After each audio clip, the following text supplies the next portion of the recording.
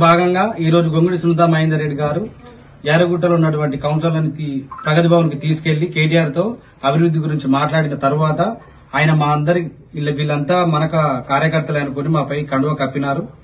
కానీ అది మా ప్రమేయం లేకుండానే జరిగిపోయింది. ఇదంతా బయట వైరల్ కావడంతో మేము కూడా పోయినామని అందరూ అనుకుంటున్నారు. కానీ ఇదంతా అవాస్తవం. మేము మాత్రం ఐలన్న గారితో కొనసాగుతాం. ఐలన్న తోటే నడుస్తాం. కాంగ్రెస్ పార్టీతోనే ఉంటాం. జై కాంగ్రెస్. జై మేము ఇప్పటి నుంచి బీర్లైన గారి ఆధ్వర్యంలోనే పనిచేస్తాం. కాంగ్రెస్ పార్టీలోనే ఉంటాం. కాంగ్రెస్ పార్టీకే పనిచేస్తాం.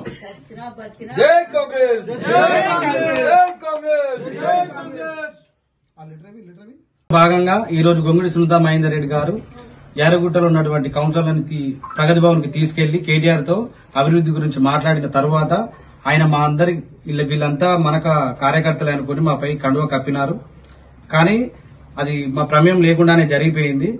ఇదంతా బయట వైరల్ కావడంతో మేము కూడా పోయినామని అందరూ అనుకుంటున్నారు. కానీ ఇదంతా అవాస్తవం. మేము మాత్రం ఐలన్న గారితో కొనసాగుతాం. ఐలన్న తోటే నడుస్తాం.